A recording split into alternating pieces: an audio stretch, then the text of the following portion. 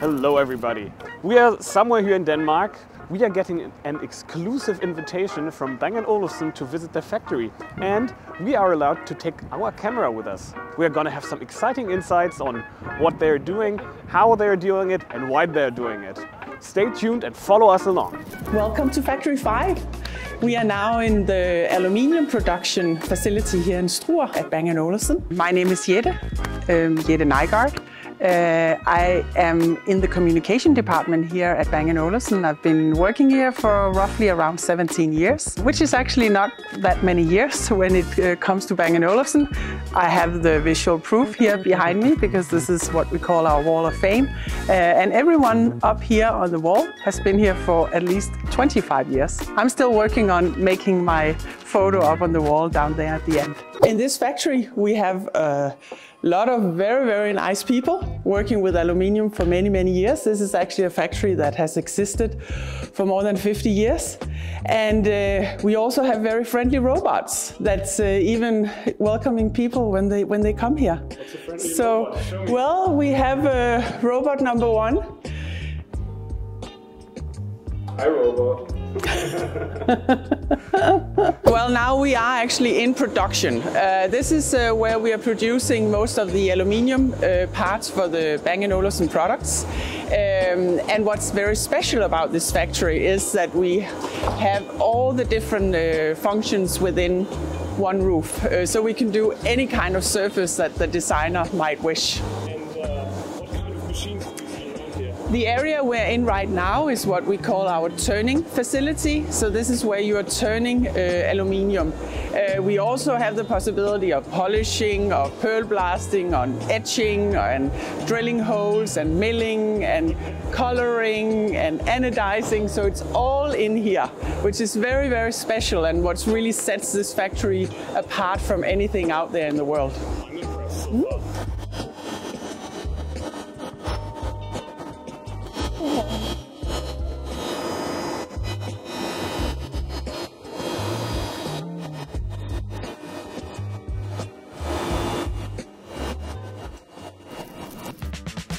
no, no, no, come. My name is Geoff Martin. I work in the acoustics department uh, in our development area as a tonmeister and a specialist in sound design. Ten years ago, that would have meant I would have been the last person in the development process when we're making a new speaker to do the final tuning, the final tweaks. Nowadays, it means more that I'm, I'm doing the final testing to make sure that the speaker is performing the way we expect it to when we get to that final stage of development, right before we start production. So we make something that not only sounds good, but looks good. It's not just a speaker, it's a work of art that, that is incorporated into your, into your house because it's not always just being a speaker.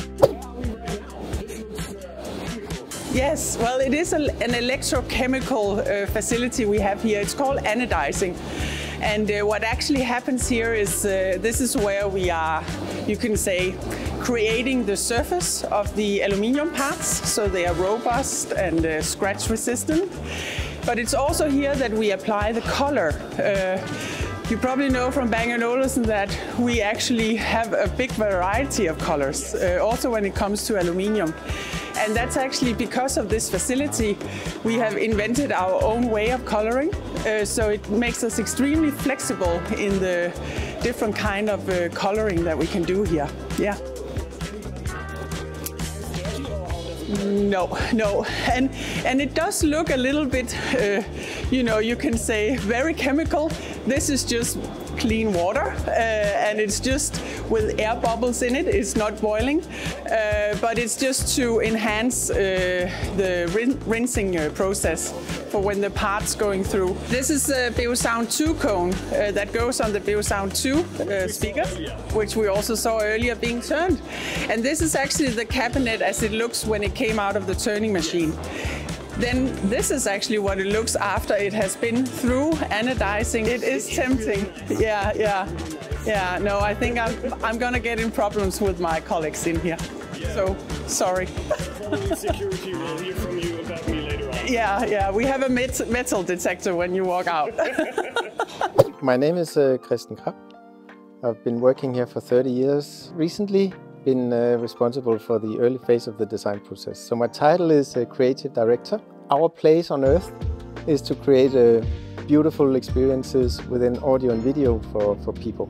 So we are very concerned about making products that make your home look more beautiful and at the same time provides the best possible audio and video experience. Everybody at B&O is living like this um, with uh, all our amazing uh, products. No, not in reality. This is actually what we call our BO Home. So we want to be able to display our products in a situation or a setting that would look like a potential customer's home. That means that we can do set different setups where we can explain how you can actually use our products in different ways. Yeah. So I know you're all about efficiency here, but uh, I think those uh, two robots are looking like they're having a dance or they something. are, yeah. They uh, they actually uh, right right now they are polishing the part for our flagship speaker, our Beolab 90. Uh, which is actually, we call them the crowns, but it actually to simulate sound waves uh, going around the, the big speaker that we are producing there. And um, in order to polish uh, this um, these dimensions, you can say. Uh, we needed to create a polishing cell that took polishing kind of a step further. Uh, and uh, and then we created the dancing robots uh, because basically you need one robot to hold the part -huh. and another robot to actually hold the polishing equipment you're I, doing. Dance much more stiffly than any robot would Okay, do. Well- all right, let's keep on walking. Are you going in an elevator or where are we? Well, we are going into a special place because this is our decorating area. Uh, this is where we are laser marking our logos, but this is also where we are doing what we call light through aluminium, so we can shoot light through the aluminium. Uh, and it needs to be a very clean environment.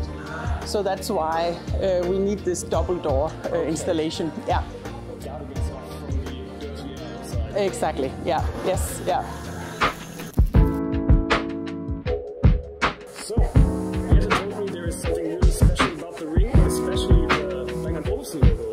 Is actually, because uh, apart from um laser marking the logo on the front, we are actually also, you can say, laser drilling uh, nearly holes into the logo. We are actually uh, making 4,666 holes. I don't see a single one. No, but they are also really, really thin. We want to create that kind of extra magic. So when you turn on the product, then light is, is being sh uh, shot through the logo. Actually, I can show you over here uh, what's happening when we are shooting light through. And so now this is our, one of our uh, test areas, so we can actually test what happens when you when we shoot light through. And what you see here is then you suddenly have the Bang & Olufsen logo lighting up from, from the back. And then here we can also take the magnifying glass and check that everything is uh, as it should be. That must be a lot of work. It is quite a lot of work, yes, yeah. But that's how it is, you know. With Bang & Olufsen you go all the way. If you want perfection, That's how it is. time. That's how it is, yeah.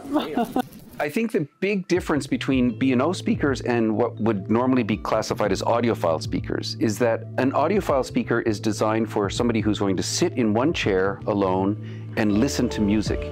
Uh, and audiophile speakers are very good for that, but they're very limited in how they can fill up the space with sound if you're not sitting in that chair listening, if you're just going to go have dinner, for example. Um, we try to design our speakers to serve both of those roles. So we do have the ability to go into a narrow beam mode where you are sitting and listening to the recording, but also you can open up the, the, the directivity, the dispersion of the speaker to a wider beam, which is not for listening, it's for just having background music on while you're doing something else in your house. We always start with a wooden mock-up of what the sound should be doing and, and how it should be performing. And then we design around that. And for our designers, they really, really love that challenge. So instead of having just endless opportunities, we have this sort of very clear description of what it should deliver to the customer. And then we have the acoustic requirements to make sure that it can actually deliver. And then the designers are working with these experts in a group for half a year. And then we come up with the best possible solution there is in the world. We are actually capable of developing new ways. Of course, it's based on existing technologies and manufacturing methods, but because we are sitting close to our, R&D uh, and manufacturing factory next door, we can actually sort of hand in hand get these things together so, so that we don't have to compromise and we can actually find these perfect shapes that also work acoustically. Bang & Olufsen is doing lots of research and development in these facilities. Part of that research is how you perceive things. And therefore they have built a special contraption made out of 50 uh, loudspeakers and eight subwoofers that can simulate all kinds of different environments. We're in something called an anechoic chamber, which means there is no echo here like there is in normal rooms. Uh, basically, every noise you make is there and gone again. You can use it for different things. You can use it to measure speakers without uh, the room interfering, or you can use it the way uh, Bang & Olufsen is doing it here to test people in certain different situations where they recreate really realistic, practically virtual reality soundscapes to, for example, test the noise cancelling of headphones in different situations. I'm gonna tell you how it was. If you close the eyes, you're in a plane, if you wouldn't know it any better. Ah, oh, this is gross. As somebody who has a home cinema at home with lots of lots of speakers, this is just insane. This is just insane. 50 speakers, 8 subwoofers. Jesus. Our goal is always to make a speaker as closely as possible that replicates the sound in your living room that a studio monitor sounds like in a studio.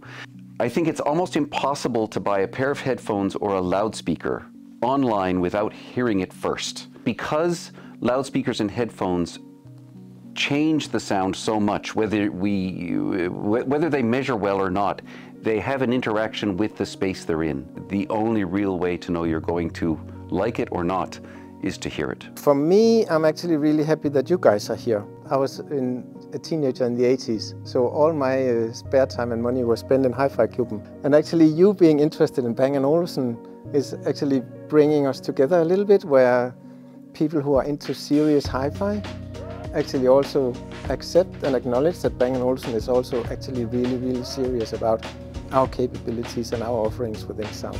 We know our products are used through generations um, and for a very long time. That's my inspiration that the product that we deliver supersedes everything that we've done before within that specific category. That's how I work. I'm a nerd. I'm proud to say. That's, that's a perfect last sentence. That's a perfect last sentence.